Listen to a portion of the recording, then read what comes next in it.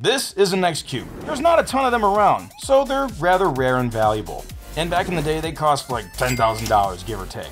But because the computer is about 30 years old, that means the hard drive is about 30 years old. And we all know how these things can just die. So, how do we fix a dying hard drive with something like this? Well, that's what we're gonna try today. And you're coming along with me. Let's go.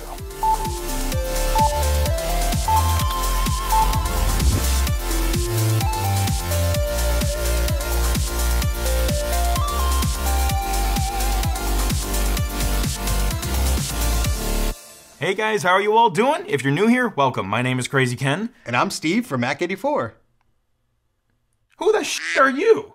We've known each other for years, Ken. Oh, of course. So today we're going to be taking a look at this NeXTcube. Now, these are pretty rare, I'd say, pretty yeah. valuable. There's not a lot of them around, and these were made by, well, NeXT, Steve Jobs' company after he let's just say left Apple in the mid 80s. Before he came back to Apple, he had this company called NeXT and Pixar, you know, that little one. Now, Steve, what are we going to be doing today to this old thing?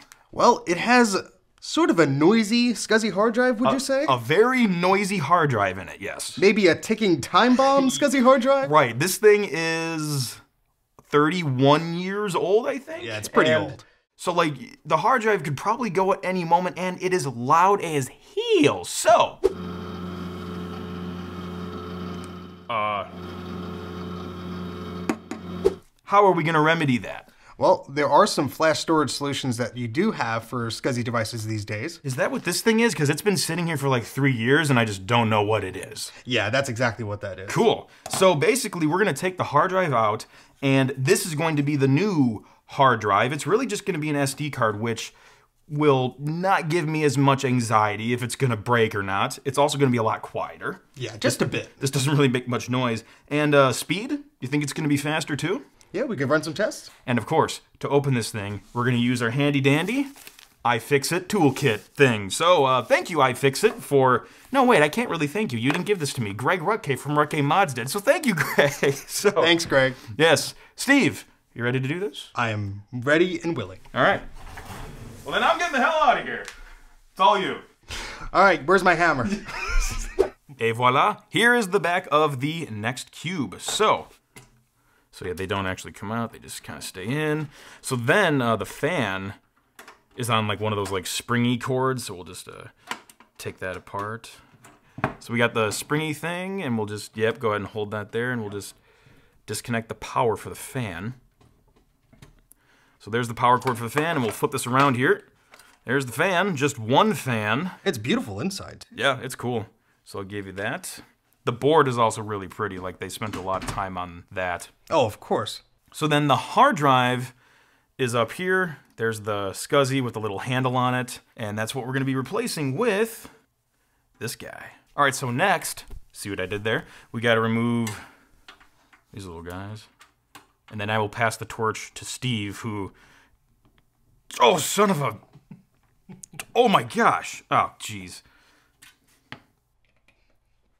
Thanks, iFixit. There you go. Those screws have probably not been undone for like 30 years. Yeah, I would say so. Okay. All right. So this is basically like a whole cage we can pull out, but first we got to remove your mother board, yep. as Ada Blasi might say. So yeah, just pull that guy out. I'll get the cables. There we go. Uh, just need a little more room. There we go. And remove that beautiful... Oh, that is lovely. Beautiful piece of engineering there. Isn't that sweet? Um, Look at those memory slots. My goodness. Yeah, tons of slots for memory, lots of miniaturization. There's the 68040 processor there. I've never actually gone this far in the next process, but from what uh, the genius Steve has showed me, I guess we can just do some tag yeah. team action. You want to do uh, some forceful pulling with each hand under these, yeah. and I will guide There we go. And then this baby just slides right out. There we go. Oh, hey, there's um a logo on way on the inside there. Oh wow, didn't even notice that. Like yeah. we only have one board in here, but we can put three more of who yeah. knows what else. Wow. Inside this thing, yeah. The extraction process is complete. Go ahead, Steve, and do your side. Of course. And then I will unscrew. I guess I could unscrew it if I get another screwdriver. Nah, we have to share. Rules. This is team building. You use one tool you go, Maestro. All right. All right, I heard a ka-chunk, so that's probably a good start. It is free. All right. And this says NeXTSTEP 3.3 with patch 2. So we have a slight problem. Steve, don't do this to me, man. Well, it's it's relatively minor. So Okay, good. The hard drive has a bracket on it, which helps keep things inside of the system Yeah. and the hard drive from wobbling around in there. And unfortunately, our SCSI2SD, well, the holes here don't exactly line up. That's true. So there are 3D printed solutions and stuff like that, but I have a cheapo option. You just take this anti-static bag, and this will just make sure that none of the pinouts or the metal components touch anything of the metal inside of the NeXT case. We're just gonna secure it with a little rubber band, and look at that. We want to pop this bad boy in here. This should be NeXTSTEP 3.3, I think, is on there and it's formatted. Great. So we're gonna get our SCSI cable here. This chunky boy. Gotta make sure we plug this in. That's a tight fit. Sweet. And we'll place that as best we can here. What do you, what do you think next year? I mean, just put it back together, right? Yeah, and hope for the best. All right, let's do it. All right, it's all back together. So, Steve, if you'd like to do the honors, you can push the power button Oh my. right up there. Go ahead and give it. I that feel a blessed.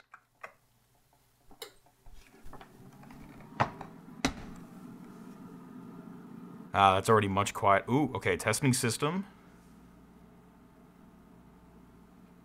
Okay, boot from the SCSI disk, I'm assuming. So B for boot, SD SCSI disk.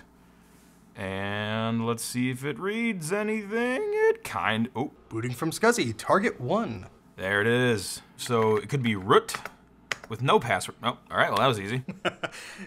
okay, so we're loading up here. We got the old black and white beach ball. The dock is full, like more full than my last system. Now the question is, well, hey, this thing is working. What do we do now? Just to see if it's is this Mathematica?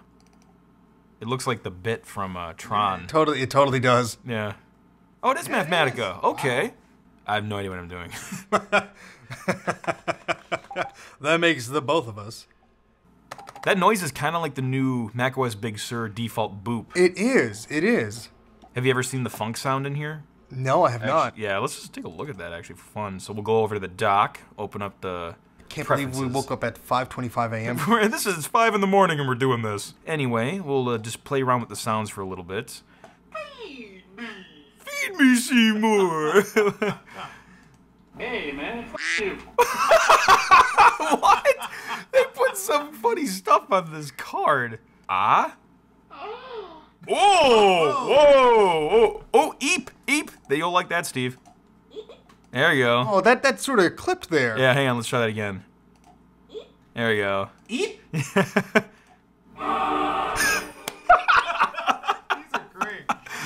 Oh man. I think what I wanted. Here we go. So that was a built-in sound that was not added Wow. in. So that that was one That iconic over. thing that came over to the Mac. Yeah. Sweet. Speed-wise, just from my experience, it feels about the same as the hard drive. Okay. But it's way less noisy. anyway, so we're poking around the system here just to run some apps for fun to see how it performs. I did also notice there was a games folder on here. Yeah, I think I saw Tetris. Was Tetris in there? Yeah, I Let's think it was in the uh, the main directory. Yeah, we got Tetris, Astroloids, Reversi! Oh, there we go. All these features and Reversi for just how much did you guess? 500? Ooh, Risk. That's that's fun. Yeah, let's play a 20-hour game of Risk. Let's just play a quick game of Tetris here. No! No, this is too fast for me. Just crank it up to 11. These go to 11. Does it go to 11? No, it goes to 9. There's a lot of other stuff on here. I also noticed there is Concurrence, which was like, you know, the Apple Keynote software. This was like the grandfather to that. Ah, yes. So that would be cool to look into quickly. They also have like a Lotus program, Lotus Presentation Builder. There's a lot of stuff on here. I, I may have to do another episode later just tinkering with NeXT software because I haven't used that much of it. But let's see if we can build a like a business presentation. Are there like themes or something I can kind of get started with here? There's the inspector. New from templates. Yes. Oh gosh, seriously, dude. Doesn't just give me a pretty little gallery like we get now. I have to browse the file system from the root directory and go wherever the hell this thing is. Yeah, we have no idea. I have no clue. Uh, we'll, we'll just make this. We'll just make this. Um, why you need the information superhighway. Oh, great. Let's make it smaller. There we go. And we'll say play. Hey! Hey, now we got a nice presentation. You should put like uh like uh I don't know, silly things. Bullet points. Bullets like There we go. So now we will, I think, command six oh, there you go. and play. And here we go. This is my business presentation. I love it. Samples. Ooh. Ooh, okay. Oh, we got- we got nice. sexy graphics going on here. Play that. That is awesome. Nice. Radio, past, present, and future. Next slide. The history of radio.